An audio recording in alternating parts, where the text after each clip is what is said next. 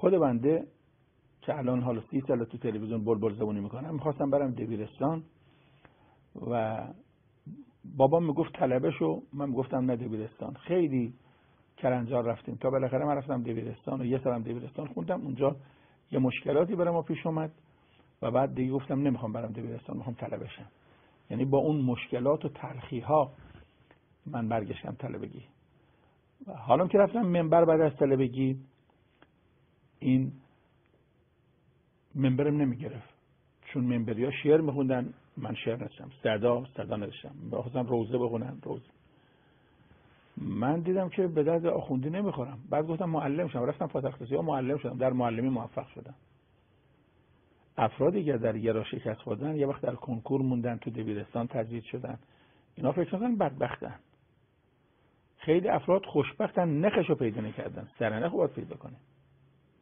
داروین که شما میگید دانشمنده در دو رشته دانشکده شکست خورد. بعد شد داروین. ممکنه شما در یه رشته شکست خوردی. مثلا یه دختر خانمی پشت کنکور میمونه.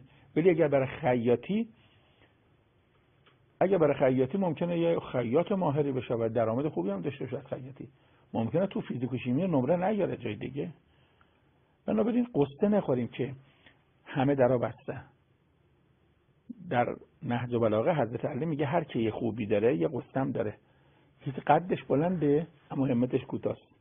بیانش روون شیرینه ولی قلبش سنگ دله قصاوت داره. طلیق اللسان حدید الجنان ماد القامه قصیر الهمه. یعنی همه اونایی که مرفه هستن این رفاهشون همراه با یک سری تلخی هاست. بنابراین ما نباید سختی ها رو ببینیم. زیبایی ها رو هم باید ببینیم منتها بشر یه جوری که میشه تلخی ها رو میگه. گاهی وقتا میگیم نماز بخون. آخه من با این درسم با این فقرم با این نمی‌دونم وضع خانوادگیم با این فکر می‌کنه. خب بله ده تا مشکل داری. یه میلیونم نعمت خدا به شما داده. اگر شما چشمت پل سن... پلک چشمت اگر فنر نداشت چه می‌کردی؟ داریم ما در اصفهان یه نفر داریم. چشمش هم سالمه. اما پلکش فنر نداره. هر وقت می‌خواد باید با دست بلد کنه. احوال شما خوبه. خیلی خوش آمدید. دو مرتبه میفته پایین. حرفا رو گوش میده. دو مرتبه چشمش سالمه ولی فنر نداره. آقا چایتون رو نخوردید بفرمایید. ببینید. شما تا حالا گفتید چشم فنر داره. شما تا حالا گفتی آب دهنم به اندازه تولید میشه. اگر زیاد تولید میشه چک چک میچکید. هر که تو هر جا رفت یه چونش بود. شما تا حالا گفتی خداوند اینجا گوشت زاپاس گذاشته پوست زاپاس که اگر خواستی خمشی کم نیاد. ولی اینجا پوست زاپاس نیست. چرا؟ چون نمی‌خوای دستت از زیر خمشه. چون نمی‌خوای اینجا پوست زاپاس نیست ولی اینجا پوست نیست. شما تا حالا گفتی الحمدلله شرط دارم. شما شرط بذار کنار. اگر تا فردا صبح تونستی دگمه عقده ببندی. اگر دونستی سوزن نخ دستگیری آمپول بزنی قلم پیچ گوشتی بیل. تمام کارا با همیشه هسته. درسته یه مشکلاتی داریم. خدا خیلی به ما نعمت داده. بنابراین کسی نباید فقط تلخی ها رو ببینه. و خیال هم نکنید. بعضی هم میگن آقا ما کارهای دیگه می‌کنیم.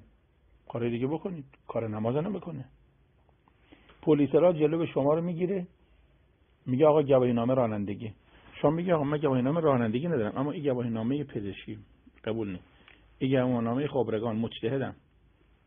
نامه نماینده مجلسم. سفیرم وکیلم پروانه ساختمون از شهرداری دارم. کارت کشتارگاه دارم. هر کارت و کمیتی از چی؟ هر مدرکی بدی قبول نمی‌کنه. پلیس میگه گواهی نامه رانندگی. خدا میگه نماز. هی بگی به فقرا کمک کردم روزه گرفتم ذکر گرفتم. هیچ چی قبول نیست. هیچ چی قبول نیست. گاهی دست شما خون میشه میگه یه چسب بیار. یه باندی یه پارچه سفید بیار من این دستم ببندم. شما اگر سی تا لاف کرسی هم بری قبول نیست یه پارچه ساده می‌خواد. در ارتش میگه دست بذار اینجا. شما بگو آقا بجه که دست بذارم اینجا دو تا دست می‌زنم رو سرم می‌زنه تو گوشت. همون تو که گفتم. یعنی باند می‌خواد نه لاف کرسی. گاهی پول خورد می‌خوام برای تلفن. اسکناس هزاری هم بدی فایده نداره. نمیشه گفت من به جای نماز دیگه می‌کنم. یا کسی بگه من به جای نماز عزاداری می‌کنم قمه می‌زنم سینه می‌زنم زنجیر می‌زنم گریه می‌کنم. خرج میدم هیچی قبول نیست. هیچی قبول نیست. شما نامه نیستی با تمر بچسبه که بره شما بگی به جای تمر من اسکناس میچسبونم. نمی‌برن کنم بگی بابا تمر ارزون اسکناسی گرون می‌زنم. میگه آقا هر رقم اسکناسی هم به پاکت بچسبونی نمی‌رسن. اگر می‌خواید پاکتت برسه با تمر بزنه نمیشه گفت من به جای نماز عزاداری می‌کنم و عشقم امام حسینه تو اگر عشق. از همه گذشته یه سوال. ما خدا رو دوست داریم یا نه؟ این از بچه یاد گرفتم یه بچه یازده ساله دختری بود آمد پلو رئیس آموزش پرورش مدیر کل آموزش پرورش. گفت یه کار شیرینی کردم. گفت چه کردی؟ گفت تا حالا مادرم نماز نمیخون. من دو سه دقیقه باش صحبت کردم نماز خون شد. گفت چه جوری نماز خونش کردی؟ گفتم مامان بشی با تو حرف بزنم. نشست. گفتم مامان جون تو منو دوست داری؟ گفت آره تو عزیز منی. برای تو لباس میشورم غذا میپزم چه می‌کنم؟ همه زحمت ها رو به خاطر تو می‌کشم. گفت حتما دوست داری بخورم. گفتم خب اگر من دوست داری دوست نداری با من حرف بزنی؟ گفت چرا؟ دوست دارم که با تو حرف بزنم. بعد خوب که اینا رو مادر گفت گفت مادر جون خدا رو دوست داری؟ گفت بله خدا رو دوست دارم. گفت اگر خدا دوست داری چرا با حرف نمی‌زنی؟